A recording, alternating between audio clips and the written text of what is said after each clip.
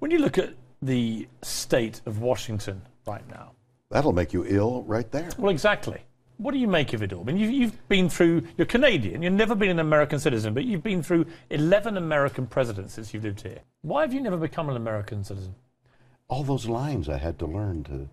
I swear allegiance to them, and I had to memorize that stuff.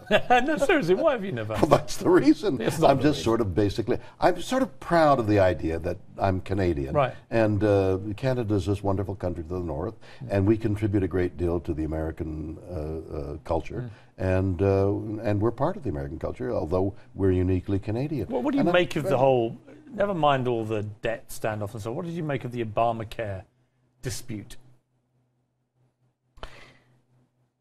We don't know. Of the mystery of Obamacare.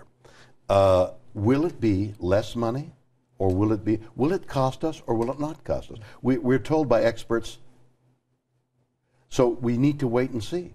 If in time that we see that uh, costs be, uh, are increasing, we have to do something about it. But if Obama is correct and uh, that health program lessens uh, the cost of, of this extraordinary uh, accounting of, uh, of medical costs, then we're home free. How would Captain James T. Kirk run America right now if he was president? Fire them all and have a new election. Given what the American people and polls are saying, there would be a really irrational decision to have elections.